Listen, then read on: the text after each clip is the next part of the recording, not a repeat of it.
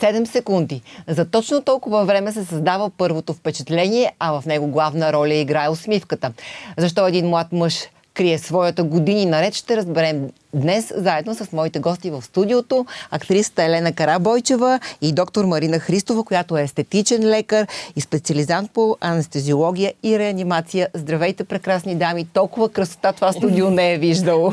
Здравейте! Надявам се се чувствате удобно.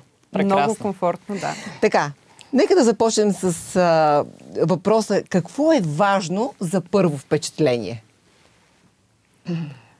Първото впечатление, да, обикновено е изцяло визуално приемаме човек, така както го виждаме. В днешно време обръщаме внимание вече на дрехи, нали, на грим, на усмивка, на излъчване.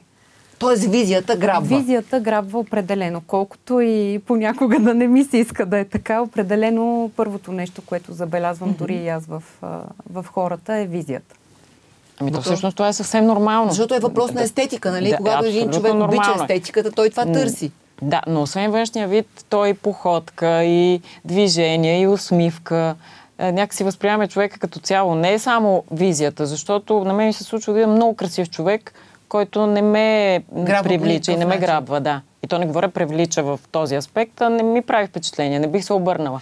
Да, аз не много е се замислям, че има много красиви жени, които нямат излъчване. Да. И точно такива пък обратното, които са леко по-закръглени, които са далеч от, от еталоните за красота, но някакси излъчват сексапил или красота или привличане или нещо, което те кара да се обръща след тези хора. Да, определено. Харизма чар, много неща могат да се включат като Някой критерии. път дори и малки недостатъци, примерно, които Да, могат грабват. да бъдат чаровни, всъщност да привличат, а не да отблъскват.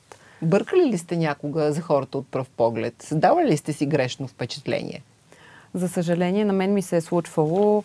А, опитвам се да не съдя хората mm-hmm. на, на първо впечатление по това как изглеждат, понеже всеки има лоши моменти, нали, това, че аз мога да го видя в някакъв лош за него момент, не означава, че а, той може да бъде ядосан по много да. фактори. Например, което мен да ме отблъсне в начало, но това може да има сериозна причина нали, за това нещо.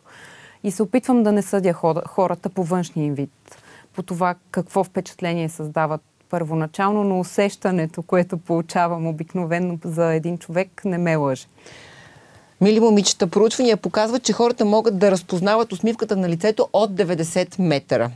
Нашият участник в епизода е човек, който дълги години крие усмивката си, защото не я харесва, според него не е естетична. Нека да си припомним.